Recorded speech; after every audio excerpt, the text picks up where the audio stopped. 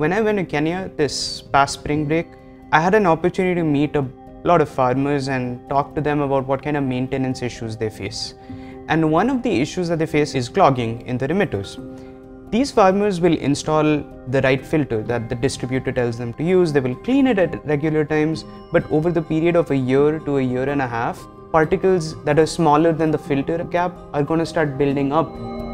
And beyond a certain point, if an emitter clogs, just say one in a hundred foot length of tubing, you can't just discard the entire tubing. Often people are going to actually over irrigate in order to seemingly compensate for clogging, reducing water efficiency. And then at the end of the day, they need to replace these products and there's a recurring cost. And so when I saw that, I realized that there's a need to develop a more resilient emitter. My name is Aditya Ghodgaonkar. I'm a PhD candidate in mechanical engineering at MIT.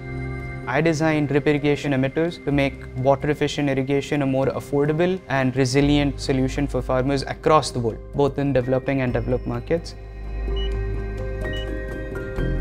The research we do in the Global Engineering and Research Lab, it's really about going out there and finding technologies that users could benefit from having better performance on at lower costs.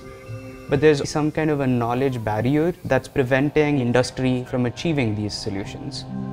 And so what I'm really trying to do is design a product that from the get-go is mechanically more resistant to clogging for that, what I need to do is simulation work computationally in order to understand where in the emitter particles get trapped.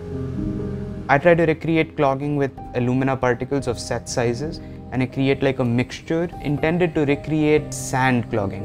And then I dump it into a test rig. We're trying to see if our emitters can run clean up to 200 micron sized alumina particles.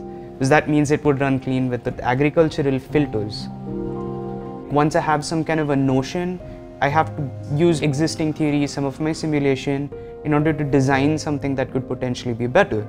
Because it is, I would say, in the world's interest to use more water efficient irrigation, right?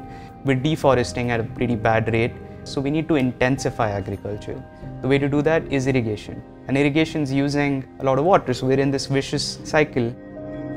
Drip irrigation is a solution where it's losing less water by design, but you could grow the same amount of crops or more.